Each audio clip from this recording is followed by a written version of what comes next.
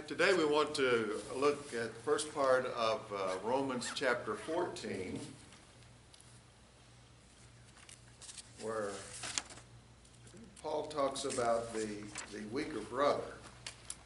Now, our office uh, keeps the ministerial data forms for 4,500 ministers. And we try to help churches find ministers. The only data form that I have ever seen that a minister's filled out, and he lists his major gifts and abilities. Do you know how many of them, what percentage of them would list preaching as low on the scale? Of 4,500 ministers, I only know one. one that has said, well, you know, I'm not really a good preacher. Uh, and I know him, and that's true, he isn't. but he's a great personal evangelist. And he started, planted four churches. Now, he would use, he would have a lot of guest preachers uh, to uh, come in and preach, but he, that was not his great gift. Now, when it comes to the weaker brother, I don't think I've ever met any Christian uh, that said, you know, I'm really the weaker brother. My conscience is really just too tender, and I'm too judgmental uh, about uh, my practices, and I look down on other people because they don't do like. I've never met anybody but they're there, and uh, Paul talks about it here in this chapter. So we begin at 14 at verse 1. As for the one who is weak in faith, welcome him, but not to quarrel over opinions. One person believes he may eat anything, while the weak person eats only vegetables. Let not the one who eats despise the one who abstains, and let not the one who abstains pass judgment on the one who eats, for God has welcomed him. Who are you to pass judgment on the servant of another? It is, it is before his own master that he stands or falls. He will be upheld, for the Lord is able to make him stand. One person esteems one day as better than another, while another esteems all days alike. Each one should be fully convinced in his own mind. The one who observes the day observes it in honor of the Lord. The one who eats, eats in honor of the Lord, because he gives thanks to God. While the one who abstains, abstains in honor of the Lord and gives thanks to God. For none of us lives to himself, and none of us dies to himself. If we live, we live to the Lord. If we die, we die to the Lord. So then, whether we live or die, we are the Lord's. For this end Christ died and lived again, that he might be the Lord both of the dead and the living. Why do you pass judgment on your brother? Or why do you despise your brother? For we will all stand before the judgment seat of God. For it is written, As I live, says the Lord, every knee shall bow to me, and every tongue shall confess to, to God. So then, each of us will give an account of himself to God. Now, all Christians admit theoretically that there are first level, second level, and third level issues. I say theoretically because I've met some people who did not seem to have a category for second or third level issues. Everything is a matter of high principle. Uh, the fact of the matter is that we Christians throughout history have have disagreed on a number of things. Uh, use of alcohol, recreation on the Lord's Day, what food to eat, what kind of worship to have, uh, use of the Christian year, and so forth. Uh, I grew up in a Southern Baptist church, Calvary Baptist Church in Birmingham, Alabama.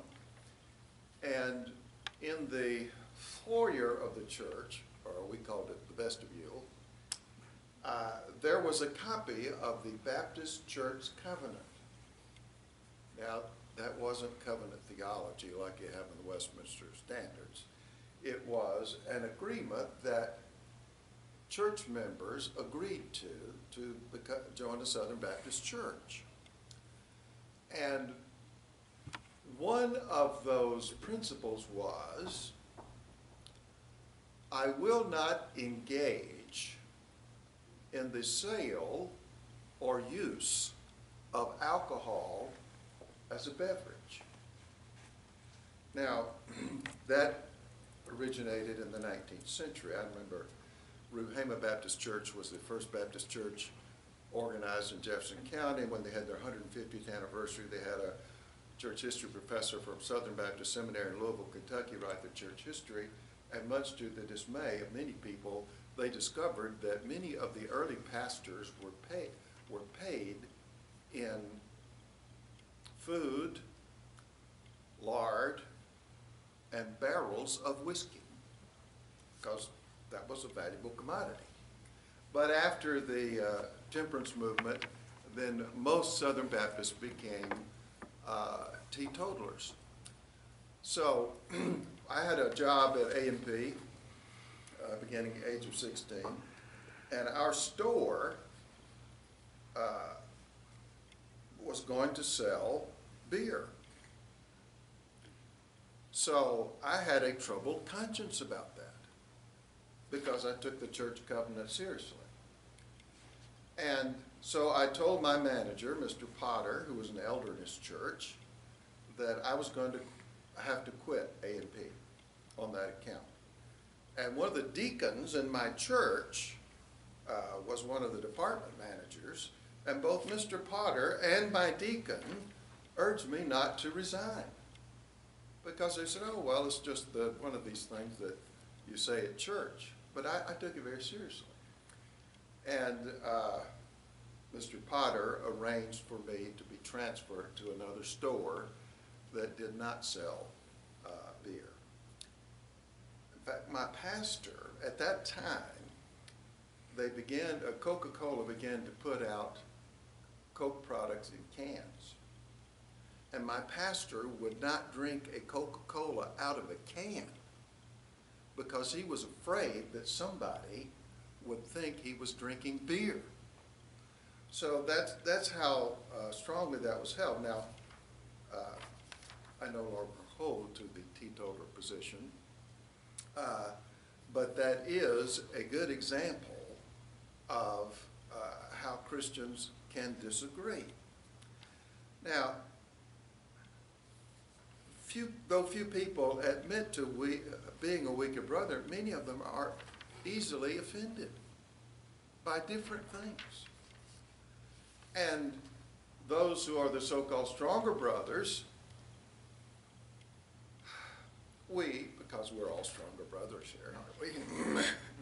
uh, we tend to be rather impatient uh, and judgmental toward those uh, whose views are more narrow than ours. But what Paul is teaching here is that we need to practice loving and responsible Christian liberty by accepting one another, though our views uh, and practices on secondary matters differ. Differ. Uh, now, when you look at this, he states a principle, and then he gives some reasons for this principle. So, the text actually naturally falls into two divisions. Now, the principle is that we are to welcome each other, though we disagree on disputable matters.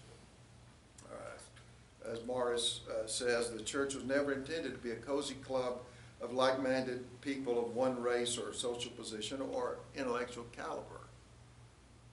Remember last week uh, when Harry Lucenay was here, he was talking about the Orality Project. There is a group, a missions group that specializes in evangelizing people who cannot read, which is the majority of the population of the world, by the way. Uh, so it, uh, the church has always people of different uh, races and types and, and uh, social class and even uh, reading ability. Uh, now, the church at Rome uh, was primarily Gentile, but you had a strong Jewish contingent. You had people who had been converted out of Pharisaical Judaism, people who've been converted out of paganism, and they had come from all different types of backgrounds. Now, when we talk about the one who is weak in faith, need to understand that this is not someone who doesn't truly trust Jesus alone for salvation. But rather, we're talking about someone with a very tender conscience, one who has scruples about uh, uh, doing or saying things or practices that other Christians find uh, very acceptable. So what the weak lack uh, is not, uh, as Stott puts it, what the weak lack is not self, strength of self-control, but what they lack is liberty of conscience. Now, I remember growing up uh, as a Baptist, and we, uh, we had a disparaging term for Episcopalians. We called them whiskey palians because we were supposedly teetotalers, uh, and the uh, Episcopals, uh, Episcopalians were not. I remember when I was at New Orleans Baptist Seminary, uh, I worked at Robert Hall Clothing Store, and our department manager was an Episcopalian. And uh, Baptist churches at that time, they were beginning sort of serving coffee and donuts in between Sunday school and worship. Well, at the Episcopal Church, they served Bloody Marys. So, uh, So they weren't Episcopalians, they were Bloody Marys. But uh, there are the different uh, outlooks on things. And there, there's a great similarity, there are some similarities between Romans 14 and 1 Corinthians 8, and there's some differences. Now, remember, Paul was writing from Corinth. And at 1 Corinthians 8 deals with the issue, what do you do about uh, food that has been offered to idols? Now, who are the weaker brothers in my idea? Well, there have been di- different possibilities that have been offered. One is that these were Jews who had become Christians, but they still observed the ceremonial law. Remember in uh, Acts chapter 15, you have the first General Assembly of the church, which is usually called the Council of Jerusalem. And they dis- discussed the issue of whether or not the Gentiles had to observe the ceremonial law. And they said no. By the way, James was the moderator, not Peter. Uh, You would expect Pope Peter to moderate, but he was, did not moderate because he was the wasn't the stated first clerk. pope. Yeah, yeah, Yeah, James, the stated clerk was the one who was leading the deal. And uh, so they said, no, the, the Gentiles don't have to observe the moral law. They don't have to be circumcised. They don't have to keep kosher kitchens. Uh, They can have pork chops and shrimp on the barbie or whatever they want. But the Jews could still do that if they wanted to. And since the 1960s, we've had the phenomenon of messianic synagogues, where uh, Jews who become Christians have said, well, look, we don't want to give up our Jewish culture. So uh, we will call our body a synagogue rather than a church. And our pastor will call him rabbi uh, instead of pastor. And we will, uh, at our church suppers, we're just going to have kosher foods. And that's, that's okay. Because the Council of Jerusalem said the Gentiles don't have to observe the ceremonial law, the Jews may if they want to.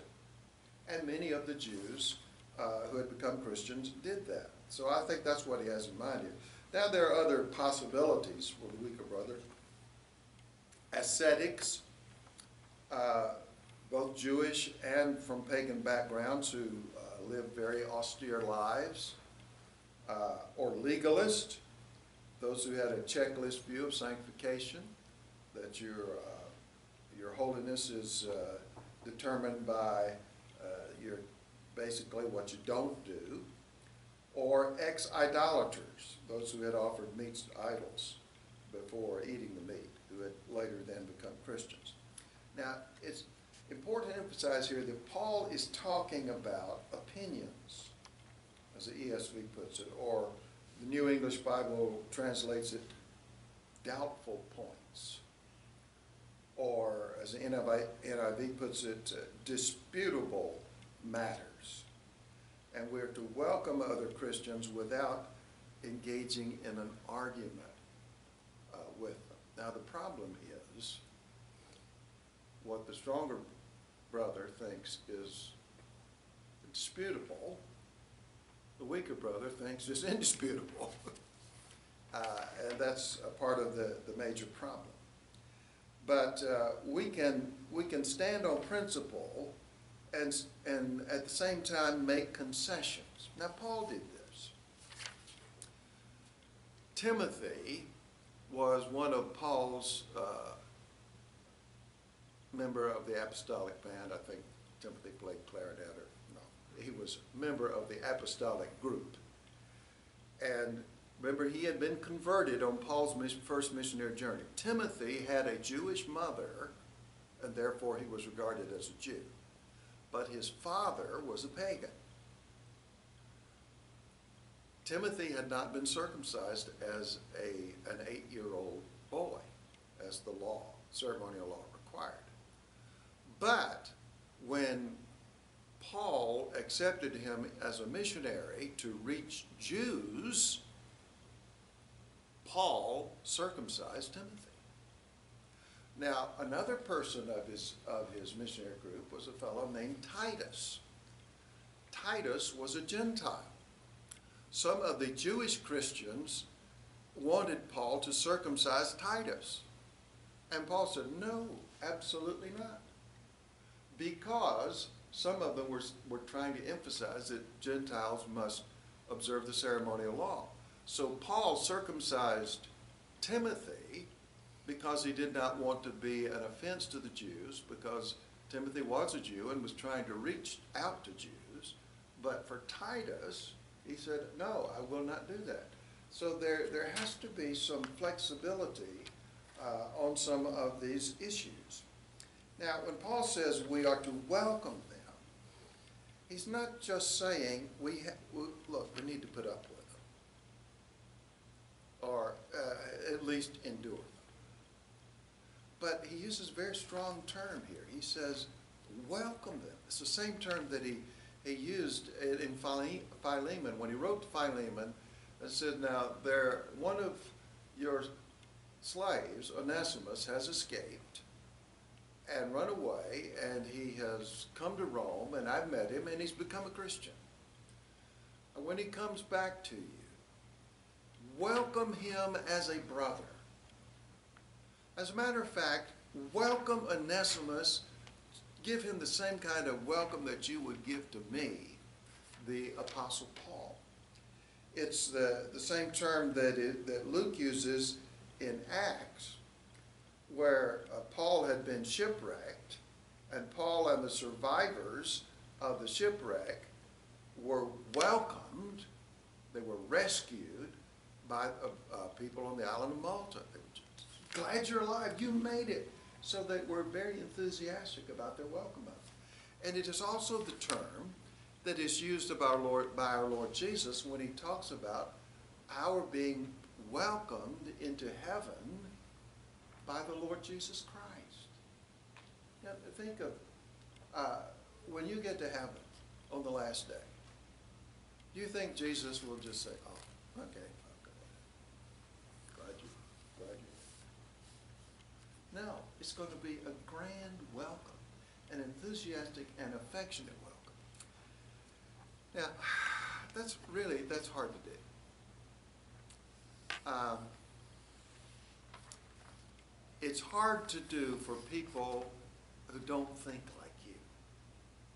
So if you're one of the stricter brothers or sisters, and you see someone else doing something or saying something that is against your scruple, it's really hard to say, well, I love you, brother. You're sister in the Lord. It's hard. Um, we, we find this uh, a generational thing among ministers. Some of the older ministers, the founders of the PCA, who are now in their 80s or 90s, or some of them promoted to heaven, they were very upset in the 50s and 60s when they learned that some ministers and elders were drinking when they, uh, after General Assembly meetings. They said that's just an example of how liberal the church has become. Now, at our General Assembly, um, there's a, there's a group of guys that meet to discuss uh, the uh, issues at the General Assembly while they're at the Assembly. It's called the Cigar Caucus. And they sit around and smoke cigars and drink. And Some of them either uh, beer or single malt scotch. Those with more discerning taste drink single malt scotch.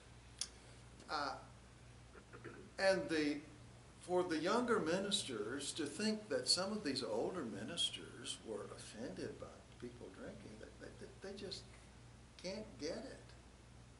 And some of these older ministers, when they learn about the younger ministers drinking, they, they just don't understand. So what Paul is saying here is there, there's some things that we have to say are not of the essence of faith. And we have to have some tolerance, but more than tolerance, we welcome brothers and sisters of different views.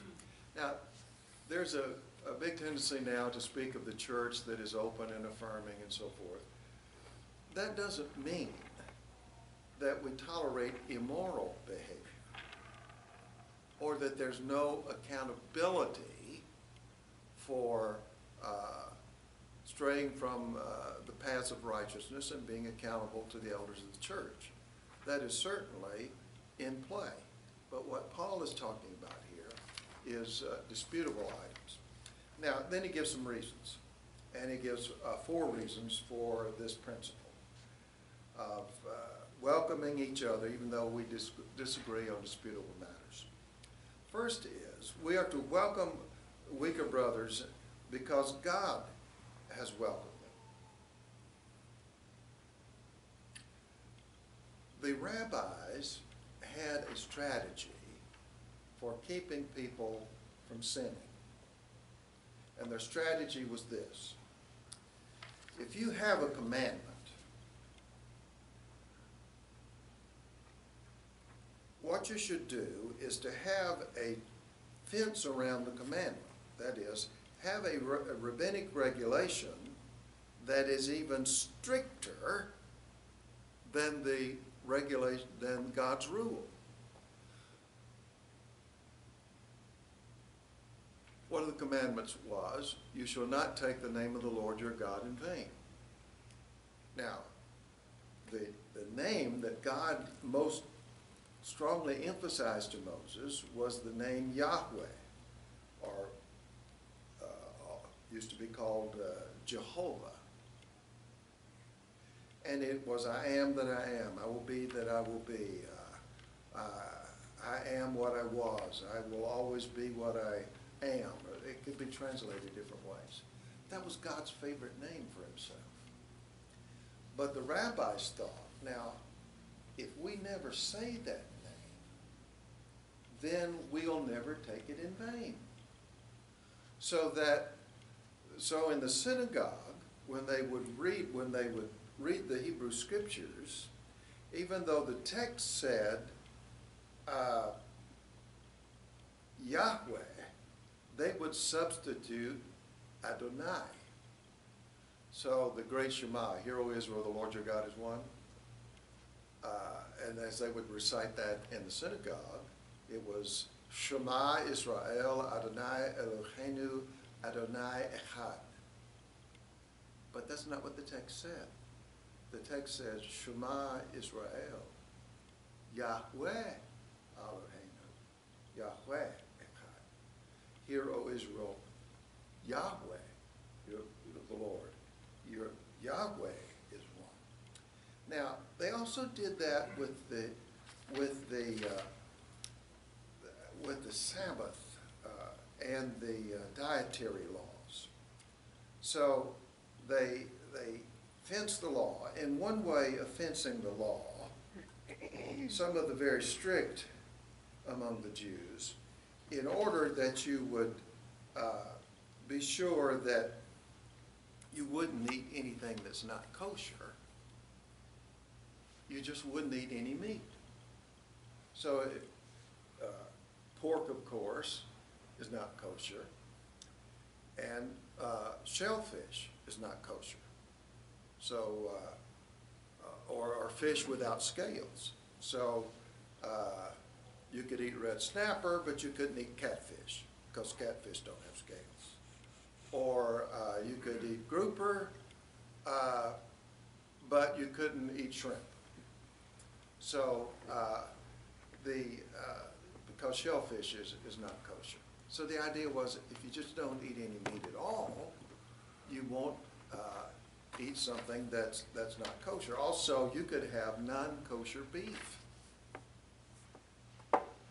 Because kosher beef is uh, the, the cows or the bull, the throat is cut and the carcass is hung uh, uh, by the back legs and the blood drains out.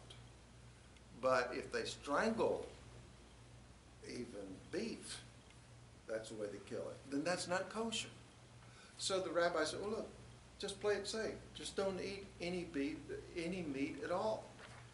And so Paul is saying some people have these strong scruples uh, about eating uh, meat. But God has welcomed them, and so you're to welcome. Now, it's hard to identify with Paul sometimes. Know, Paul was so smart. Uh, he was so erudite. And it's hard for us to identify with Paul at times. But you just mentioned Simon Peter. And people smile, oh yeah, I can, I can identify with Peter. And, you know, great intentions, poor performance, blurt things out, you know, he would, uh, his mouth would be in motion before his mind was in gear. You know, we- oh yeah, I remember that. I could, I do that. Well, after Peter's restoration, after he had been, uh, restored to ministry by the Lord Jesus. And after he had preached, uh, and 3,000 people were converted on the day of Pentecost, and after he had become the, the chairman of the committee to investigate the outpouring of the Spirit on the Samaritans, and after the Lord had sent him to be the one to bring in the first Gentile uh, convert going to the house of Cornelius, after Peter had become this champion of grace, he had refused to eat with some of the Gentile Christians. And not only Peter, but also Barnabas. Remember Barnabas, the, the son of encouragement, the promiscuous hunger? You know, he just went around hugging people, encouraging. Uh, even Barnabas was caught up in that error. And though he would preach the gospel to the Gentiles, he wouldn't eat with them. And Paul tells, tells us in Galatians chapter 2 that Paul rebuked Peter face to face. Now, Paul is saying that we, we need to welcome brothers with whom we disagree because God has welcomed them. And it depends on your, your perspective. If you have stricter views, uh, then you need to be more open to welcoming people who have broader views. on disputable matters.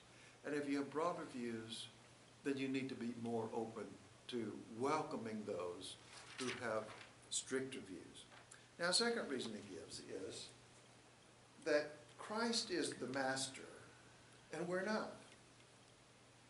The most emphatic, uh, if you're writing a letter or you're writing a paragraph, whatever, the most emphatic place to put something is at the beginning or the end. Beginning of a sentence or the end of a sentence, or the beginning of a paragraph or the end of a, ending of a paragraph, or the beginning of a paper or the end of a paper. Now, that, that is true in the, in the Greek language in which Paul is writing. He puts the word you as the first sentence. Now it's translated, who are you to judge your brother? But actually the word you is the first word in the sentence. It's like we're saying, who are you to judge? And Paul uh, saying, Christ is the head of the household. We're all Christ's uh, servants. Christ is the one who gives us approval. And he uses the term Christ is the Lord, which is the New Testament translation either of Adonai or Yahweh. It's a uh, position of power and authority and also the emphasis on Christ's uh, divinity. Now, the first reason he gave dwelt on diet. And he, the second reason he gives dwells on days and the, the observance of days, because strict observance of the Sabbath was a major uh, portion of Pharisaical Judaism. Uh, many thought it was the greatest commandment. Remember, they asked Jesus several times, What is the greatest commandment? Over 600 commandments in the Old Testament. Which is the greatest? Well, many of the Pharisees thought it was the Sabbath commandment because it was the longest commandment. It had more letters in it. They counted the letters. It had more letters than any other commandment. And also, there was a death penalty associated. Sabbath breaking was a capital offense. Now, there's only one time that we know of in the Old Testament that that was, that was actually carried out, but it was a capital offense. And many of the rabbis taught that if every Jew in the world would just keep one Sabbath perfectly, then the Messiah would come. Which is why they went nuts when Jesus violated rabbinic traditions of the Sabbath, but never broke the divine commandment of the Sabbath. Know, like when Jesus uh, uh, healed a man uh, who was lame and healed him on the Sabbath day, and he, uh, he had been at the temp temple begging, and he was on a uh, pallet or sleeping bag, and he rolled it up, and he was carrying it uh, through the city.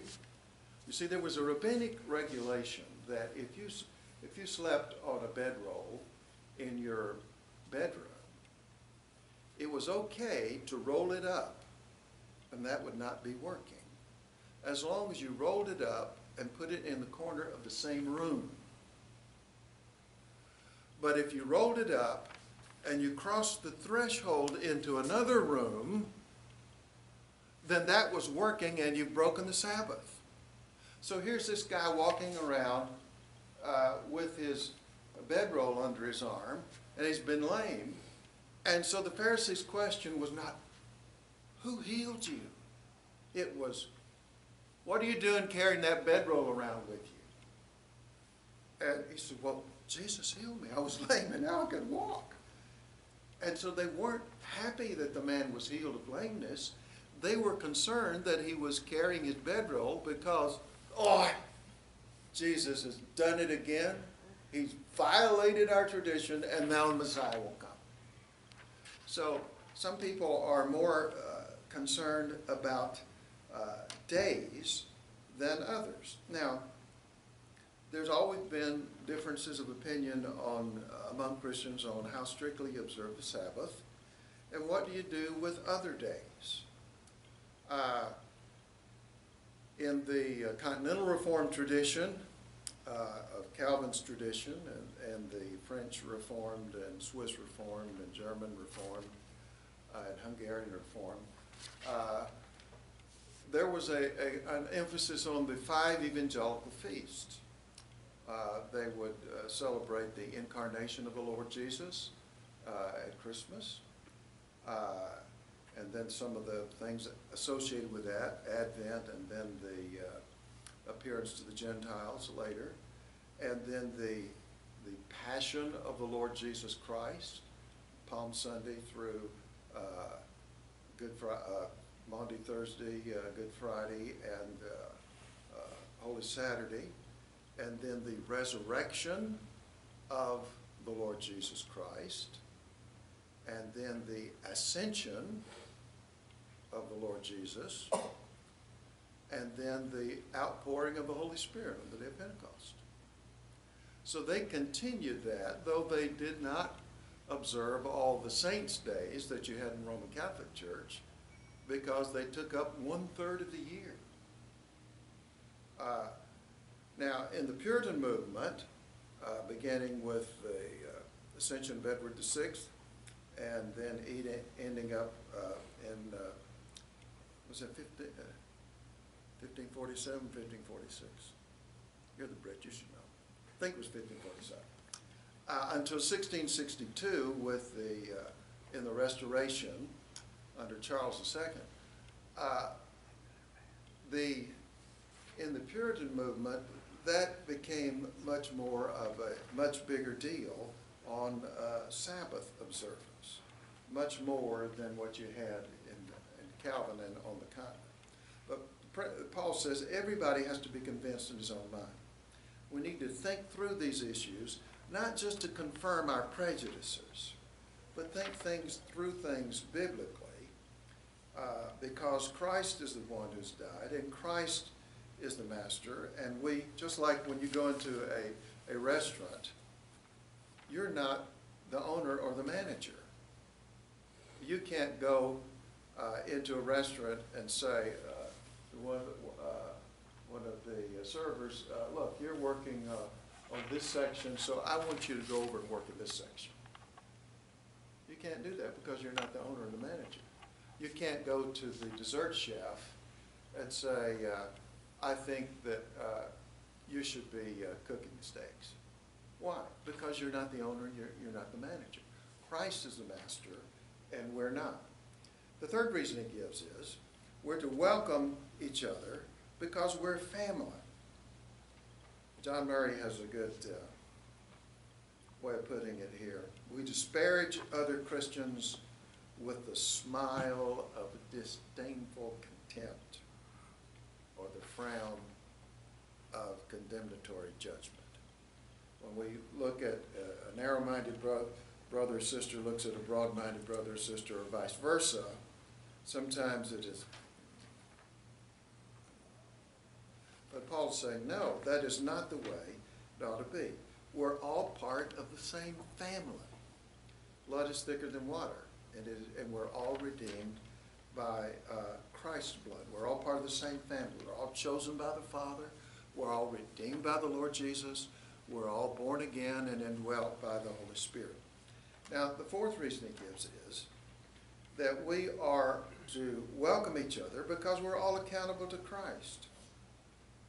We shouldn't judge each other because Christ is the one to whom we have to, to give an account on the last day. Now, some people think of the last judgment, they think of everybody standing before God the Father. That's not going to happen. Because God the Father and the Holy Spirit are immense, filling all time and space simultaneously, and pure spirit, whereas Christ the, is the incarnate Son of God, and the incarnation is a permanent condition. So Christ will be incarnate throughout the rest of eternity. And we cannot see, even though, this is a difficult thing to imagine.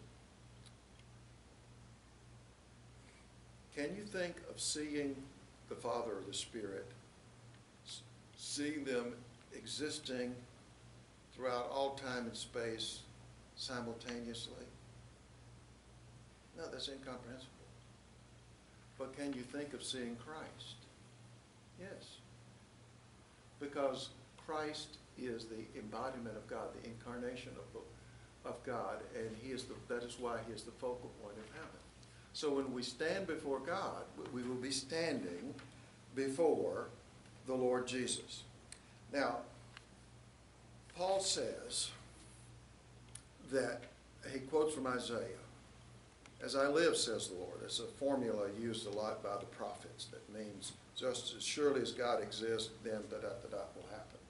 So he's saying, As surely as I live, every knee shall bow, every tongue shall confess. Just as sure as God exists, on the last day, everyone will submit to God. Everyone will confess that he, he alone is Lord and Savior. Now, that's not a second chance. You don't get to do it on the last day and get into heaven unless you have first of all confessed the Lord Jesus now, which is why Paul says in Philippians chapter 2, every knee should bow and every knee tongue should confess that Jesus Christ is Lord to the glory of God the Father. So people should do that now in order to be saved. Now, I came in this morning and I looked at our piano.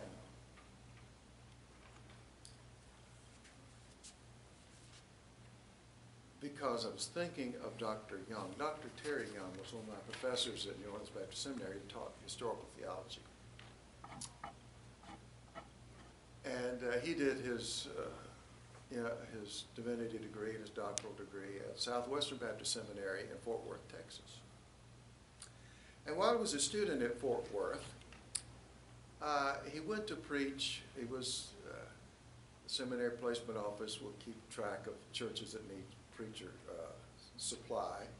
And he went to supply preach at a Baptist church in a little town in Texas. It was a tiny little town. They had a gas station that was also a general store and also the post office at a crossroads. That's how small the town was. They didn't even have two gas stations. But they had two Baptist churches. One was First Baptist and the other one was named Unity, Fellowship, or Concord. You know, one of those names that you know is a split off of something. So, after the morning service, uh, between morning evening service, he's eating with one of the deacons. And he said, I noticed that you have two churches here in town. He said, how'd that happen? He said, well, we split. He said, why? He said, well, we had an upright piano. And somebody died and left some money to the church to buy us a baby grand piano. And so we bought a baby grand piano. And we put it in the church. We had it delivered and put in the church.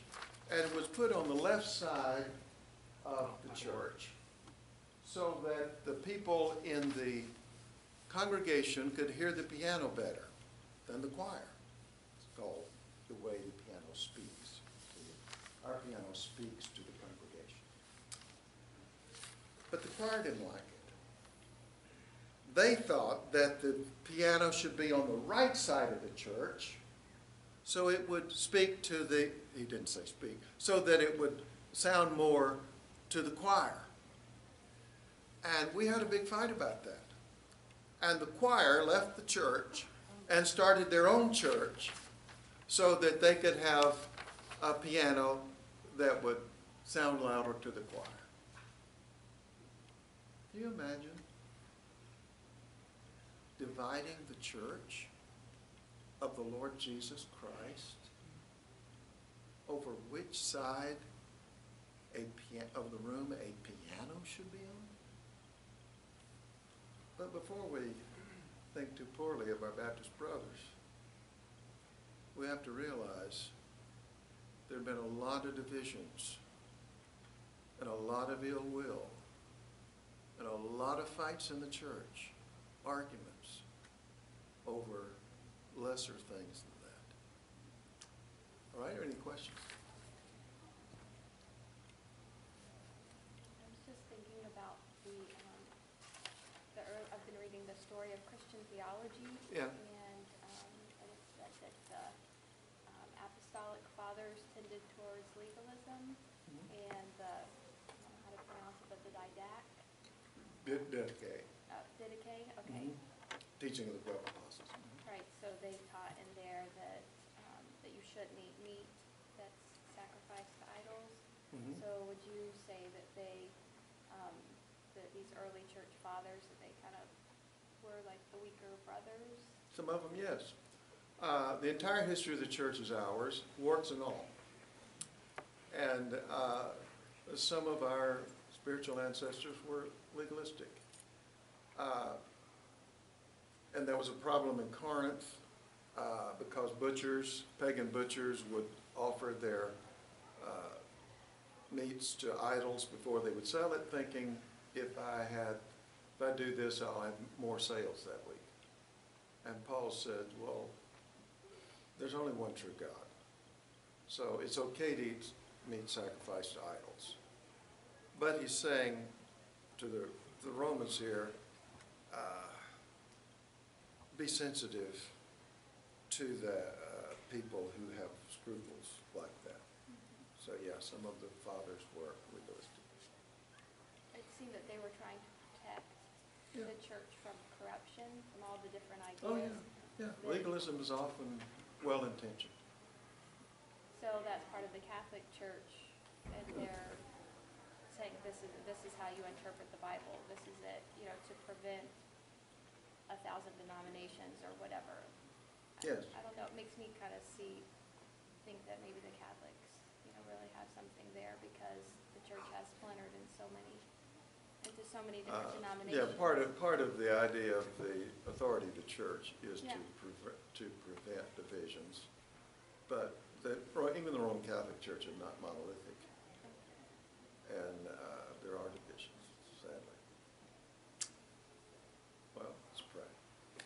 Gracious Father, we thank you for your goodness, and help us, Father, that we might uh, not simply put up with each other and endure each other, but welcome each other as brothers and sisters in Christ. We pray in Jesus' dear name.